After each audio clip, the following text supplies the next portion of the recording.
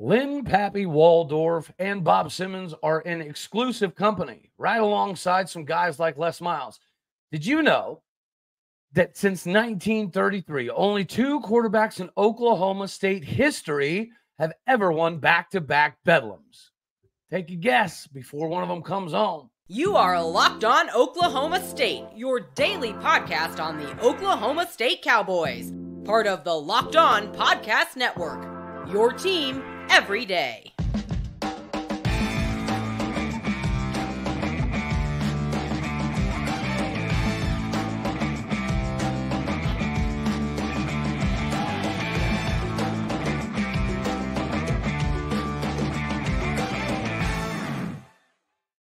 Howdy, y'all, and hello, all. Welcome back to Locked On Oklahoma State, your daily stop for all things cowboy and cowgirl related. My name is Cody Stovall. I want to thank you kindly for stopping by to make this your first listen here on Locked On Oklahoma State. You know you can find us on every single podcasting platform, uh, visually as well on YouTube. Find me personally on Twitter at All Day O State. Today, we're partially brought to you by Prize Picks. Do not miss out on the action, whether it's going to be two players you pick from or six players you pick from Prize Picks gives you the ability to capitalize on your potential earnings.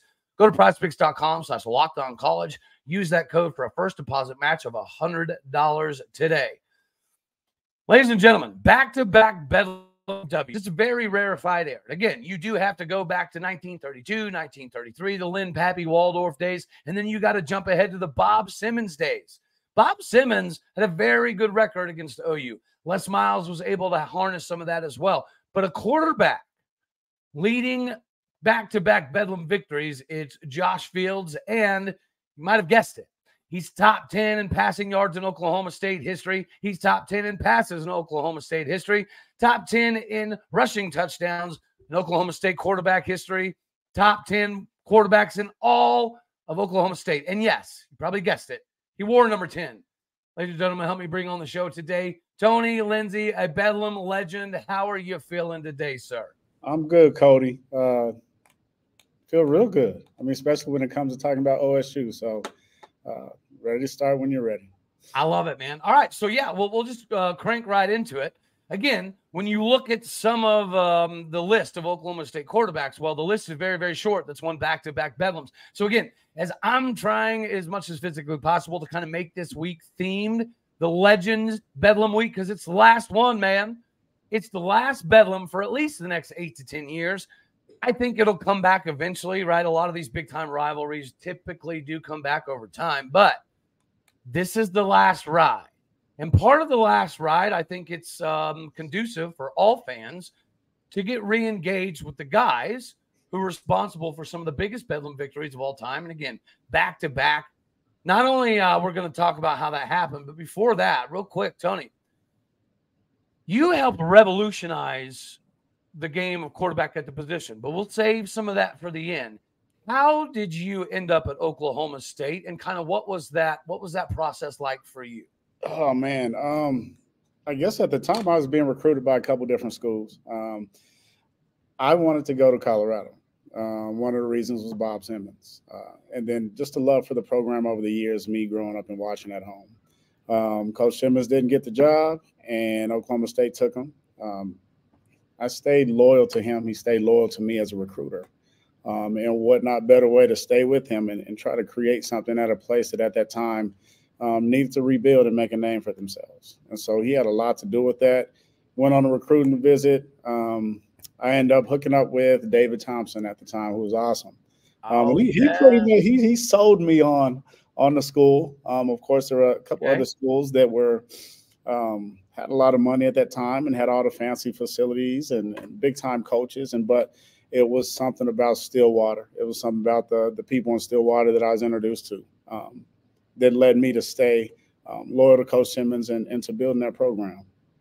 That is that is amazing. All right, so Yes, it's funny you brought up Colorado. You beat me to the punch. Um, yesterday I was watching, you know, some of your highlights of the old Bob Simmons show. Um, and then I caught I caught something off of a podcast where you talked about how personal the 97 Colorado game was. Um, and, and basically you broke it down that, that a lot of people thought that Bob Simmons should have got that job. Instead, they gave it to Rick Neuheisel at Colorado. So you're right. Yeah, I, I thought it was pretty interesting that uh, you came out looking to make a statement against Colorado, and you did that. So talk about that a little bit more. Like, uh, what what was making it so personal? Was it just the the fact that they overlooked Bob Simmons, or was there a little bit more? Because they were really, really, really good back then. A lot of people tend to forget. I think for me, it was to know that they had somebody in state um, that was worth giving a shot to, and I didn't talk to anybody at all.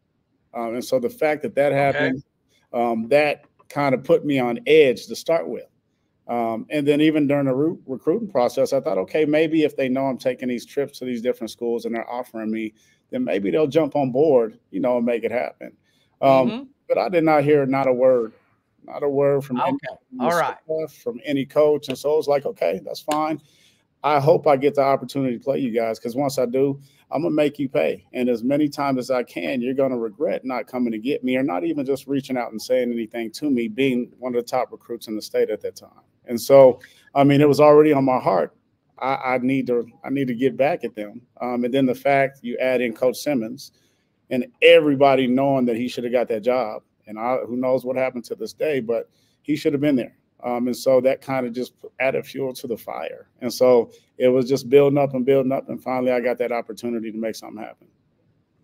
Well, I don't know if you saw, but yesterday the future schedules were released. I selfishly am very excited that our first year with Colorado, we get to go to Boulder. I can't wait for that. I, am super excited to go to Provo, Utah as well. But talk a little bit about the the Big Eight, Big Twelve style of days.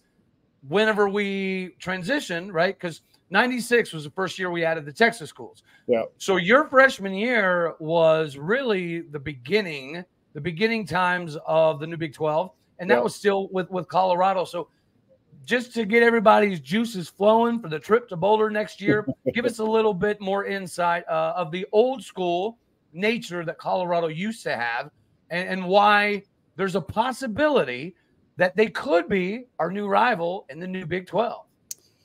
Uh, if I guess if you look at the old school part of things, very talented, uh, traditional, strong um, football team, strong culture of the football team. It wasn't as glitz and glam as what it is now.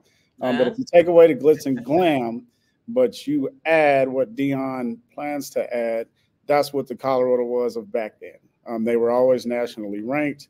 Um, they were always someone that everybody in the nation wanted to see. Um, and they were a powerhouse, uh, powerhouse at that time. And so something that Deion's trying to get back to, uh, bringing me back mm-hmm. to current days. Um, the glitz and the glam is there. Uh, he's working yeah, recruiting. Um, we'll see where it goes. I'm excited. There's a lot of excitement around this state, you know, about what's going on up there. Um, I just want to see them get back to the way they were. I 100% agree. I absolutely agree. And you know what? It was nice that uh, you got to have a good time with Colorado 97. You corralled the Buffs in Stillwater 98. So before we get to 97 and 98 and how fun it was to to party um, in, in, those days, and hopefully we can kind of conjure some of that up uh, again this weekend. But briefly before we do that, y'all, I do have to remind you that today, today is a good day as, any uh, to put yourself in a position to make some money. I just told you a little bit about Prize Picks, so let me tell you a little bit more. Prize Picks is the largest daily fantasy sports platform in all of Northern America. It's the easiest and most exciting way for you to play daily fantasy sports right now. You don't have to get up, get caught up in the hoopla of choosing the crazy stuff, the overs, the unders, the props. You don't have to do all that. With Prize Picks, all you do is pick two to six individuals and then you go off of their stat projections and watch the winnings roll in from there. It is legitimately that simple. You choose more than or less than on the projected stats for individual players. Guys, we even got basketball season almost here. You can pick combo projections across football and basketball with specials. A league created specifically for combo projections that include two two or more players from different sports and different leagues. So if you want to put LeBron James and Travis Kelce in a combo, you can absolutely do that. Prize Picks even offers the reboot policy. So if your entry stays in or gets injured in the first half of the game for football and basketball games now, the second half that player gets rebooted. Prize Picks is the only daily fantasy platform with any insurance policy like that. It's super simple to play. You can make the picks and submit your entries in less than 60, 60 seconds. Quick withdrawals on your money and easy gameplay make Prize Picks number one in daily fantasy sports app. So do not miss out on the action. Go to prizepicks.com slash locked on college.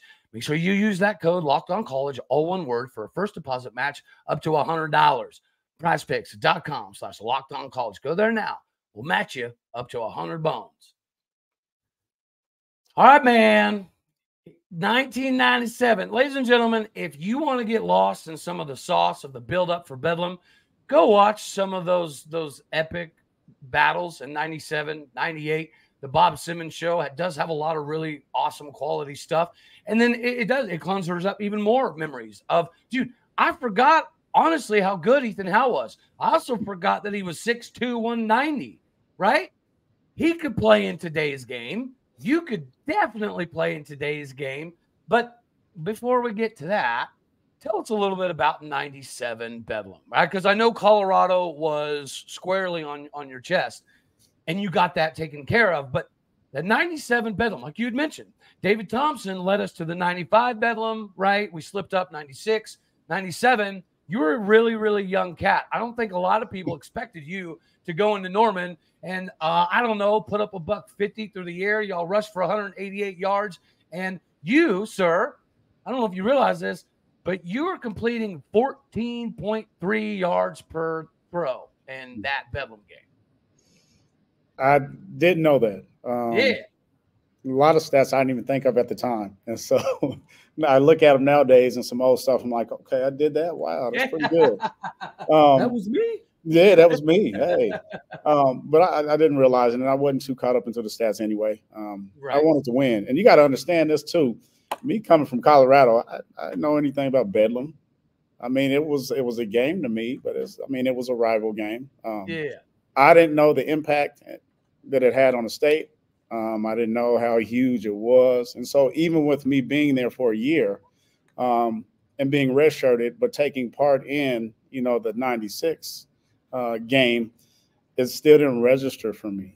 Um, okay, gotcha. It, it, was it was only until I started playing, so that '97 year, um, and just leading up to the game. I, I want to say two weeks before the game um, okay. you could just feel it in the atmosphere. And it's like, okay, well, let me see what this game is about. Now I get to play. So let me see what this thing is about. And um, gosh, leading up to kickoff, man, it was everything um, I expected uh, in a rivalry. And it, it kind of opened up something new for me as far as, you know, the impact of that game and, and how much it was and how much it meant uh, to the team, those that played um, in Oklahoma in high school, and then those that didn't. Yeah, but oh, Tony, come on, man. Don't sell yourself short. Y'all didn't just win Bedlam two years in a row. You beat the ever loving tar out of him because you, you did it again the, the following year, 1988. You put up a buck 50 through the air and almost another buck 50 uh, on the ground.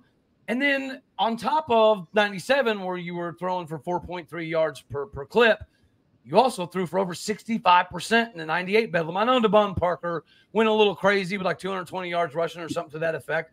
But other than Parker, that that wasn't much of a wasn't much of a game. I think it was 41-27. So you yep. beat them 30 to 7 and then 41 to 27. Tony, those aren't just W's, man. Those are whoopings. That's hey, why they're cherished so much. It, it was the plan, you know, especially in 97. I mean, with the season we had going anyway. I mean, we were ready for whoever, whenever. Um, that was that was our mentality. Like we don't care who you are, come and get some. You know, we're ready. We have everything we need, and we had the ball rolling. So I mean, it was just a matter of time of getting on that field. So we kind of cruised through that game too. I mean, we knew that would give us a little bit of something, but we also knew we were the better team in '97, way better, and we proved it. And then going into '98, it's like, okay, um, we just got done with y'all the year before. There's not too much that has changed, and so now you got to come to us. Um, and they gave us a little fight at the beginning. Um, and right. then uh, I, I, think Kenyatta put out the quarterback. And from that moment on, it really just, I mean, Demond did his thing, um, but yeah, you need more than just one person. and, uh, and yes, that was clearly evident. Right, Yeah. and we proved we were the better team again that year. And so for those two years, I mean, we had the bragging rights. And you know, going into the series, everybody knows, you know, which which way the series is leaning and has Right. has went. Um, but anytime we got a chance to put it on them, you you can be assured we're going to. So yeah, dude, um, I'm telling you, everybody out there, go look at some of that 97, 98 stuff because you will. Yeah, I mean, everybody remembers Kenyatta Wright going crazy. I think everybody remembers that, that the defensive tackle Kevin Williams, and then the, the Hall of Fame career that he had in the NFL. But dude, Andre Waddle was all over the place. Ethan Howell was Yeah. a bad mamma jamma. We could talk about R.W. McQuarters for hours and hours, so we're not going to do that. But dude, I remember uh, Sean Love. Yep. Sean Love was somebody that dude, that guy, he had he had all of the ability. His sideline usage was impeccable, right? Even for back then. Yeah, And um, it just, dude, it it was so much fun. And I think you nailed nailed it on the head. You said that that like the the the intensity, right? You had to not only match them, but you had to show from the very get go, we are the better team. It does help whenever you have guys like uh, Alonzo Mayes to lay people out, right? The, yeah, the good old days of the crackback block whenever you got somebody Alonzo Mayes size was not very fun. but yeah, dude, we- we'll talk about um, some of the, the the running style of stuff. But from a passing perspective, like, dude, 14.3 yards per clip and 65%. What about that game? Was it just a preparation? Did you come in overly prepared, or either one of those games? Did you just see things a little bit better than than other times? Um, gosh, I, I think the the more you play the game, the slower it becomes, and the more you're able to do.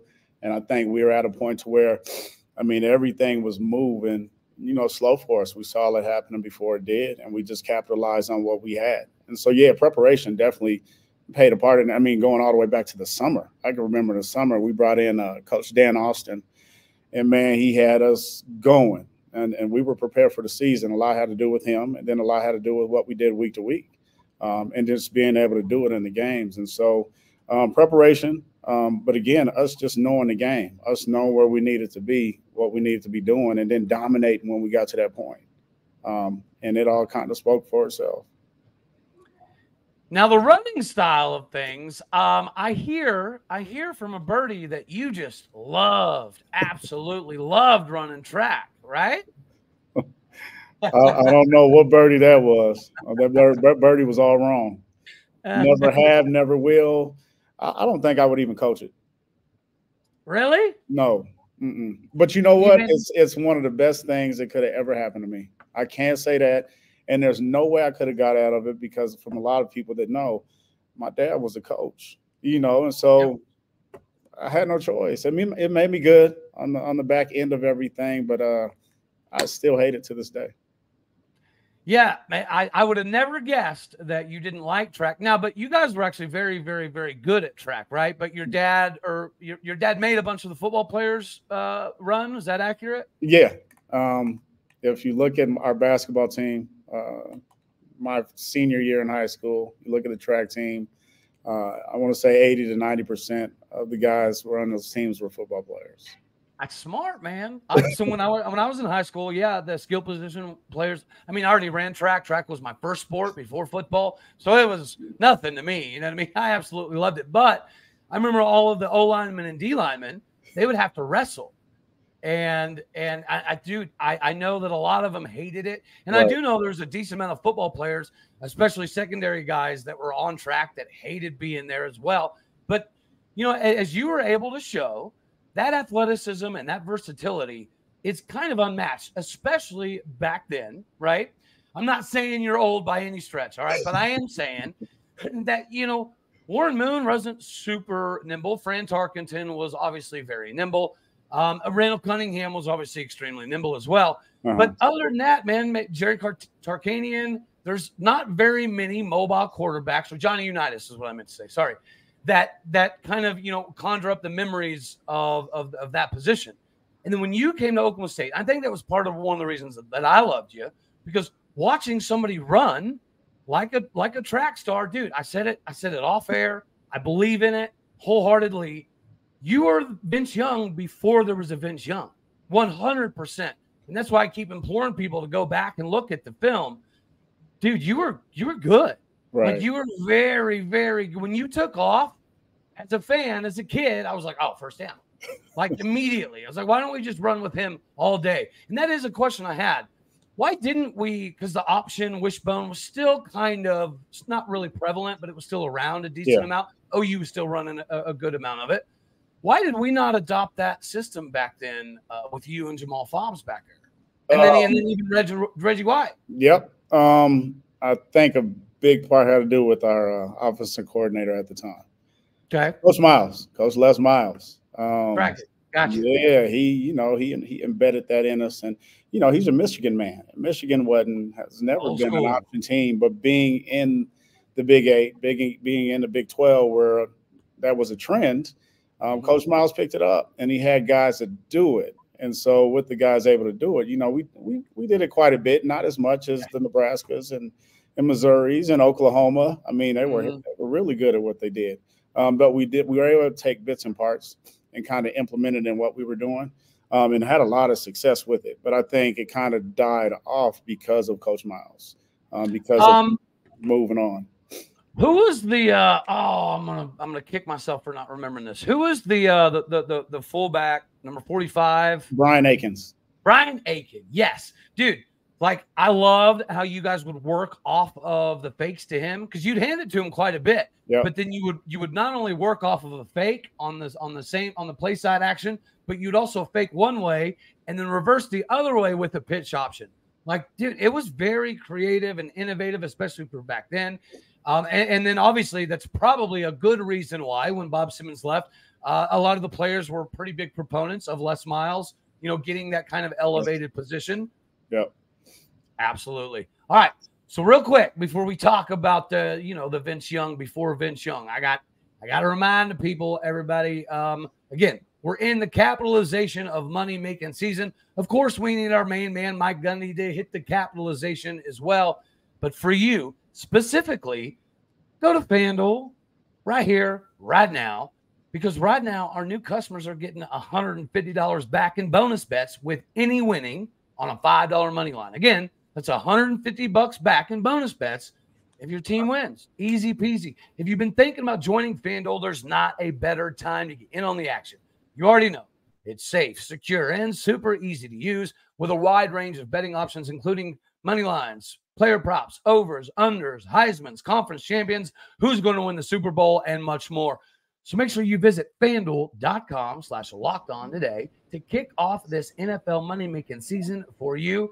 Or if we're just here to hit the OVA or him of the OVA, go to fanduel.com slash locked on to do it.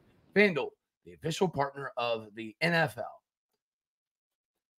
All right, Tony. So, whenever you look at today's game of college football, the athletic quarterback is like it, man, right? In today's game, if you're a, a statue esque quarterback, you're probably not going to make it all that all that far, right? Every quarterback out there, no matter what your size is, everybody's working on speed because you can if you can integrate the RPO action into like the traditional drop back stuff and you can combine the two, it makes you a very versatile weapon. I mean, Oklahoma State fans have seen it for the last few years with, with Spencer Sanders, but again, before Spencer, before Zach Robinson, before J.W. Walsh, before Bobby Reid was you. So, real quick, buddy, tell us um, what what you think about the new age uh, running back, aka quarterbacks that can run, and and do, do you kind of feel like you were just born in a little bit of a too too early of a generation? You know, I'll start. I'll I'll answer that last question first. I, I do. I, think, I, I think I was way ahead of my time, and I think it would have been perfect, perfect fit uh, for me to be in today's game um, for the things that I did back then. Um, so yeah, I, I, I do wish I could uh, kind of go back and then put me in this place. Um, but it definitely helps. Um, the skill set that I had at that time. Um, now me seeing it evolve, um, I'm just happy. I'm Yeah, happy. yeah. You know, finally it happened, and those who were getting overlooked, those who may not have got shots, are able to get it now because of the things you know that that I was able to do, and a lot of others, even before me. I know Tony Jones was a quarterback before myself, mm-hmm. and Tony had a lot of those skills too. He did, um, yes. So there were, you know, quite a number of people that, that came through. Um, but now seeing it take place, and like I said, evolve into the quarterback play now, um, it's it's awesome to see. Do you? Well, I know you're you're a teacher now. Um, do you ever every now and again remind your kids that hey, I used to be able to do that? um, huh? you, when they come in at the beginning of the year and they kind of want to know a little bit about me and my history, I throw it out there. I don't go into detail of exactly what happened and my achievements or anything like that. It's pretty much like I went to school here. I got my degree. I was able to play football. and then I leave it at that. But then I have a lot of parents um, that are my age and they were aware. And so they'll go tell their mom, dad, aunties, whoever. Yep. And then they'll come back to me like, oh, I heard about you. I'm like, yeah, it was a long time ago. I'm kind of old. So I was okay oh man, you gotta. Hey, next time, just counter with. Um, you've seen that Bedlam record? yeah. Uh, go check out how many quarterbacks have beat them back to back, and just leave it at that, dude. Just leave it at that, right? Hey. All OU fans want to talk about is is the overall record, correct? Hey. And again, you and Josh Fields are in such rare company that you can tell them to stick it where the sun don't shine. That's amazing. hey, and the way I look at it, and I did back then, and the years that we've won, is you're only as good as your last game. So hey, if I won that year, then hey, you you have nothing to say until you change that outcome, and you got a year to wait. so. Dude, I'm so glad you said that. I think this is the perfect segue because, just like you said, it the most important one is the last one, right? And this is literally last. the last one. So OU fans want to talk about 90, 19, 7 over and over and over. I, I, I said yesterday to Reggie White, I'm pretty sure that's the only mathematical equations that are allowed to be taught in Norman public school system, right? Because they beat it into your head. Nobody, I mean, people are going to care, but most people, most people, especially in the recruiting realm, right? They're going to remember the last one because this is the last one. So I don't care about the other 90, 91, 92, whatever you want yeah. to call it. I care about this one. Yeah. So whenever you look at Oklahoma State and Oklahoma this year, obviously this is a big bedlam, right? This is we're both tied for first place in the Big 12. You've got K State and Texas going on as well. So this weekend's going to decide a lot of the first place race. When you've seen the regalvanization of Oklahoma State this year from the bottom all the way to the top, we're running a completely different team now, right? And OU, for some reason, their fans are ready to run Jeff Lebby out of the town. I find it hilarious.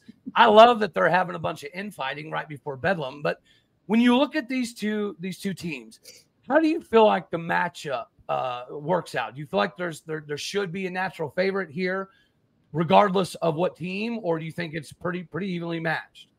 Um, man, I I think looking at where they both are at this point in time, um, we figured some things out. Figured a lot of things out. Mm-hmm. I, think we kind of got that ball rolling. Um, where I think they've been the same since they started. So yeah, of course you'll get better week to week, but it's not like they've taken a large leap or anything like that. Um, but we have on the other hand, and so um, it's going to be a really good matchup. I mean, but they got to come to Stillwater and they got to deal with what we've been doing these last couple weeks. And I don't know if they're ready for that. Um, I think the defense has been playing a lot better. Um, like I said, offense is rolling. Ollie is killing. And so I think it's going to continue, you know, with him. And oh, he's going to have to find some way to stop it, but I don't think it's going to happen this week. So maybe another team, maybe another year, but not this year. Uh, you were blessed with handing the ball off to several NFL uh, running backs over your time. But you're right. Ollie is something. And Reggie was telling me yesterday, you know, I asked him, what, what are one of the things that you think makes him elite? And he said, not only the jump cut, but what he can do off of a jump cut. Because mm-hmm. usually mm-hmm. a lot of people can make the jump cut, but it's the next movement that's a stalling moment. Ollie doesn't have that stall. Whenever he jump cuts, he's instantaneously hitting another gear. Mm-hmm. And dude, he's the size of a linebacker. So you don't expect it right? You don't expect him to be that fleet of footed, but he is, right. and he can run people over. I cannot wait to see him. I don't want to say smash face mask, right? You get in trouble nowadays, but I can't wait him to steamroll over OU players. I just, dude, I'm so excited for this one. I try to I try to cater my emotions because it's Bedlam, right? right? And we're very scorned. But dude, the more I talk to some of the old school guys like, like you and Tatum and Reggie, I get more and more excited. I'm I'm ready for this one, man. And, and you're right. I don't think OU realizes quite what they're walking into. Yep. I yep. do believe that they think it's, you know, it's Bedlam. They're going to win. They always think that way. They always feel that way. But the energy of the 2021 Bedlam, because we thought that one was the last one in Boone, right? Yeah. That energy, if that's recreated, which the feeling around campus right now, I, would say is pretty good. Yeah, if we can capture lightning in a bottle again and punch OU in the mouth repeatedly, I like our chances, buddy. I, I like really them too. Do. I think you hit on something. You said punch them in the mouth repeatedly. It needs. It can't just be from the start, you know, because the game is started. The atmosphere is hype. This mm-hmm. has to be something that takes place all four quarters. That's. I think that's going to be key. Um, but if we can keep the momentum going from today to tomorrow into the game, and it stays like that that whole time, it's it's going to be a tough place for for them to get anything done. Is speaking on all OU's behalf. Um, it's going to be hard, and that, we're going to come out victorious because we we should do the things we need to do. And so I'm excited. I wish I wish I could be there. I'm a high school football coach, so every year that this takes place, I'm so ah. busy coaching our high school team that I can't get out to see it. Um, yep. But you know, I'm there. I'm watching. I'm cheering and everything else, and I, I can't wait, man. I'm I'm pretty hyped up right now. So you need to try. All right, you need to try to schedule a date to maybe play hooky when we play Colorado next year in Boulder. I'm just I'm just saying, right? It's a good time to get sick. I don't know.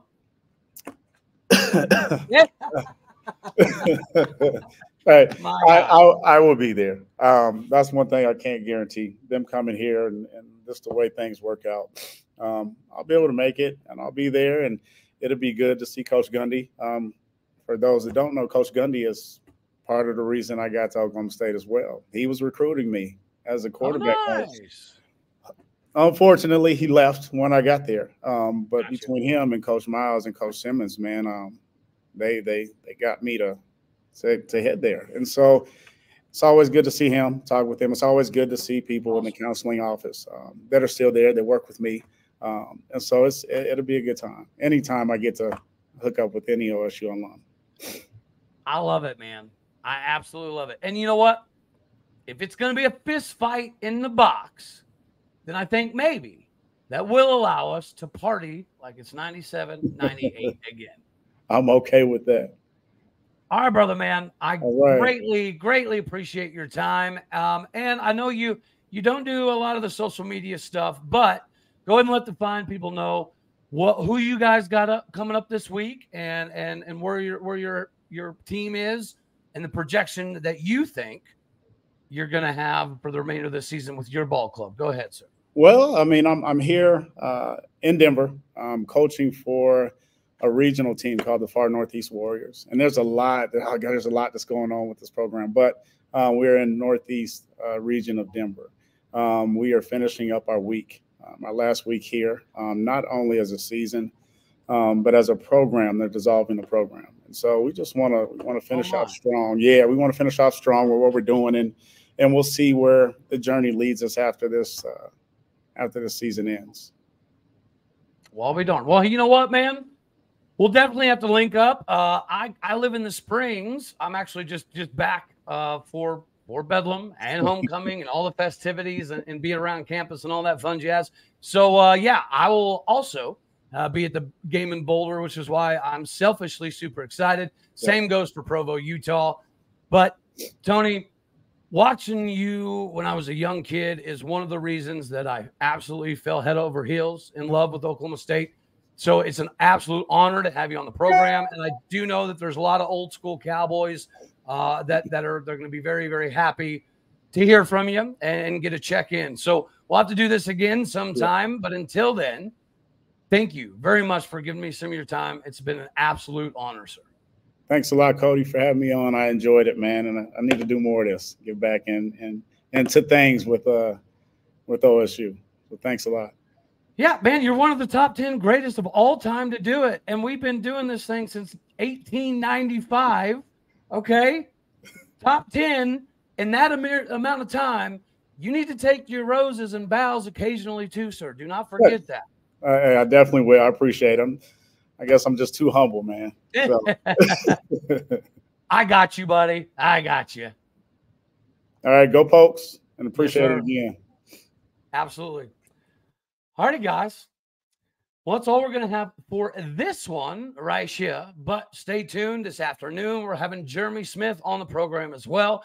The same Jeremy Smith that was a four star running back recruit that chose Oklahoma State over those Gooners 71 miles south. All righty, y'all. You know I love you. As always, God bless. Go Pokes. And thank you for tuning in to make this your first listen here on Locked On Oklahoma State. You could be anywhere. We are so happy that you choose to be here. Let's keep this bedlam hate flowing rivers of orange all week. All righty, y'all. Later, taters.